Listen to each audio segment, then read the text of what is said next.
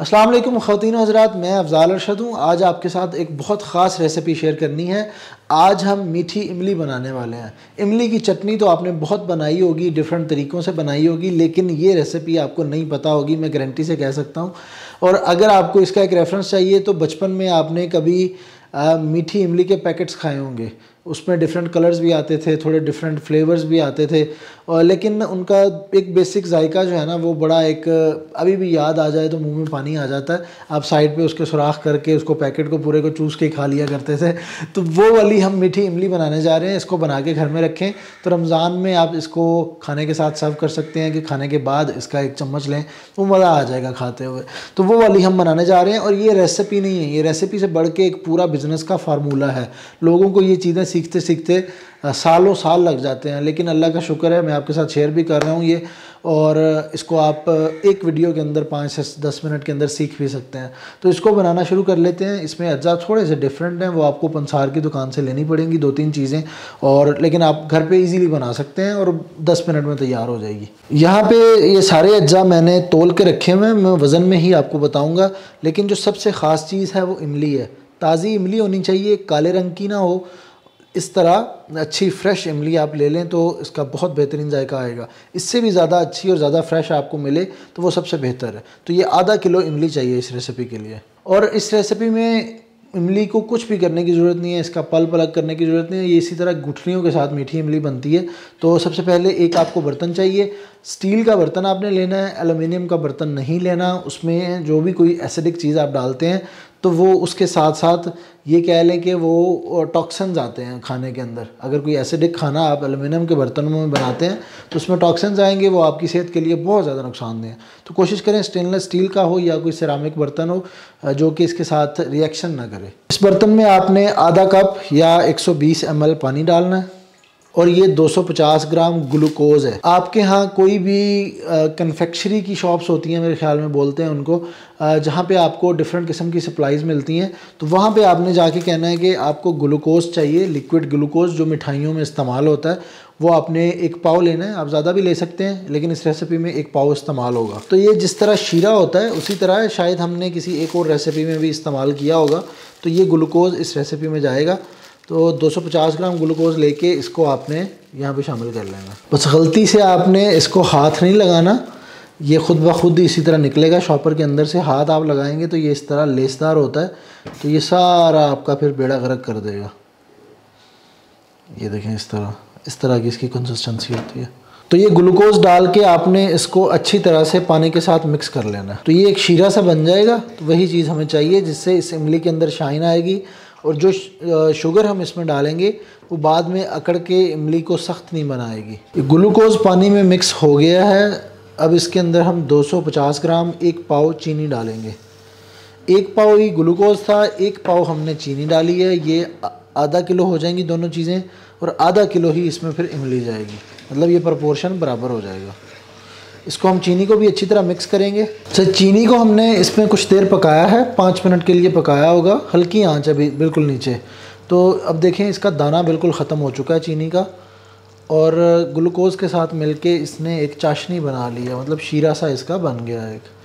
तो इस तरह इसके ऊपर हल्की झाग आ रही हो तो इसके अंदर आपने आधा किलो इमली शामिल कर देनी है। अच्छी ताज़ी इमली आपने लेनी है। और इस इमली को अब इसमें अच्छी तरह आपने पकाना है ताकि ये थोड़ी हल हो के एक चटनी सी की शक्ल में आ जाएगी। ये चटनी बनाते हुए आग तेज़ करने की ज़रूरत नहीं है। दरमियानी से धीमी आग रखें और इसको आहिस्ता आहिस्ता पकाएँ। अब ये देखें, इमली इसके अंदर अच्छी तरह मेल्ट होना शुरू हो जाएगी और एट दी एंड ये बिल्कुल शीरा आपको नज़र नहीं आएगा, बल्कि इमली और शीरा यकजान हो जाएँगे। अब ये देखें जी, जो इमली है वो अच्छी तरह से मिक्स हो गई है। और अब शीरा हमें यहाँ पे नज़र नहीं आ रहा, बल्कि इमली का पल्प उसके साथ मिक्स होके इसने एक चटनी की शक्ल ले ली है, ये देखें। अब आग आपने बिल्कुल हल्की कर लेनी है, बिल्कुल धीमी आग की ज़रूरत है। अब इसमें हमने मसाले शामिल करने हैं, आधा टीस्पून नमक, सफ़ेद नमक जो होता है। काला नमक है, आधा टीस्पून काला नमक। सुंड लेनी है आपने, सुंड और जिंजर पाउडर दोनों डिफरेंट चीज़ें हैं तो आपने सुंड ले तकरीबन आधा टीस्पून सुंड इसमें डालनी है। सुंड के बहुत सारे फ़ायदे हैं। इस तरह की खट्टी इमली के अंदर तो इसको लाजमी शामिल करें। गरम मसाला है क्वार्टर टी स्पून गर्म मसाला डालना है ये मेरे पास इधर चाट मसाला है, ये होममेड चाट मसाला है। इसकी रेसिपी मैं आपके साथ इंशाल्लाह नेक्स्ट शेयर करूँगा। वैसे आप किसी भी ब्रांड का ले लें तो वो आप इसमें इजीली इस्तेमाल कर सकते हैं। या आपने बना के रखा हुआ है तो वो भी डाल लें। तकरीबन कोई पौना टीस्पून चाट मसाला डालें। और ये इसके अंदर सबसे ख़ास और सबसे सीक्रेट इन्ग्रीडियंट है।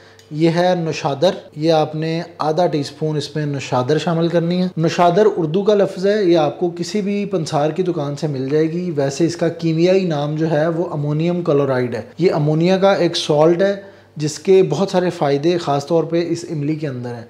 इससे सबसे बड़ा फ़ायदा ये होगा कि खांसी नहीं लगेगी आपको। जो अमोनियम क्लोराइड है, ये जो म्यूकस की मेम्ब्रेन्स होती हैं, उनको इरीटेट करके जो बलगम बनती है, जो खांसी आती है, उसको ख़त्म करते हैं। तो अगर आप कोई कफ़ वाली कैंडीज़ बना रहे हैं तो उसमें भी नशादर का आप इस्तेमाल कर सकते हैं। और दूसरा, इसका सबसे बड़ा फ़ायदा ये है कि ये पी लेवल को बैलेंस करती है। इसके अंदर एसिडिटी बहुत ज़्यादा है, इमली की वजह से तो उसको भी ये लेवल करेगी। अब ये मसाले शामिल करके इसको हम थोड़ा सा मिक्स करेंगे। इसको आपने अच्छी तरह से मिक्स करना है।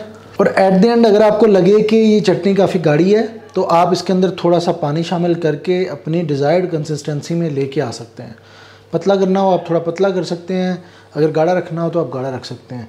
गाढ़ा होगा तो ये ठंडी होने पे थोड़ा वो आपको फीलिंग आएगी, थोड़ी सख्त हो जाएगी, वो कैंडी वाली फीलिंग आएगी जेली वाली टाइप और अगर आप थोड़ा इसको पतला रखेंगे, फिर ये थोड़ी सी नरम रहेगी।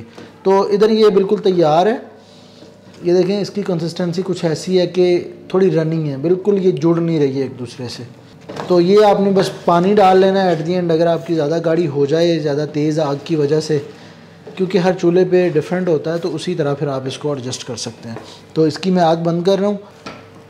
ये चटनी बिल्कुल तैयार है। इसको एक प्लेट में डालते हैं।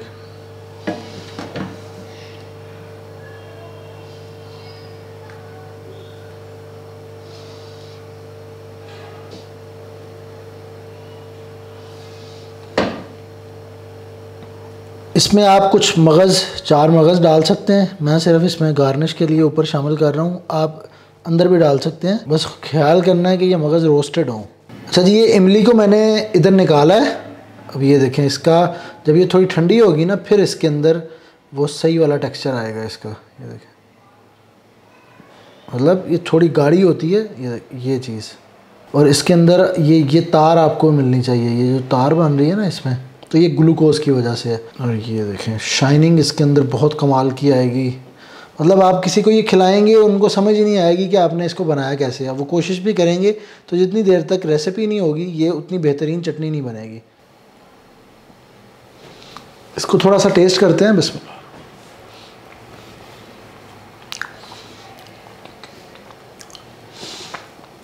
इस चटनी के अंदर गुठलियों की वजह से एक अलग ही टेक्सचर आता है, और जैसे ही आप इसको मुँह में डालेंगे ना तो आपको वो सारी यादें आपकी ताज़ा हो जाएँगी। बचपन की अगर आपने वो मीठी इमली बचपन में खाई है तो।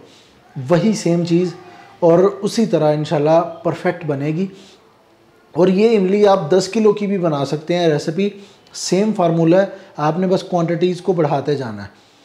आप अगर आपको बिल्कुल एग्जैक्ट ग्राम्स में चाहिए तो वो मैं डिस्क्रिप्शन में लिख दूँगा रेसिपी आप वो भी फॉलो कर सकते हैं। लेकिन नहायत कमाल की और बेहतरीन चटनी है। आप इसकी शाइन देखें ये इस तरह बिल्कुल जमेगी भी नहीं, और इस तरह एक अपनी शक्ल भी बरकरार रखेगी, ये देखिए। तो खाने के बाद जो मीठे की क्रेविंग्स होती हैं ना, वो इससे पूरी हो सकती हैं। आप इसको डिफरेंट चीज़ों के साथ भी सर्व कर सकते हैं। वो आपकी क्रिएटिविटी पे है। तो इस रेसिपी को बना के रखिए। रमज़ान में आपके बहुत काम आएगी। आपसे ज़रूर मिलेंगे इन किसी अगली वीडियो में। तब तक अपना बहुत सारा ख्याल रखिएगा। अल्लाह हाफ़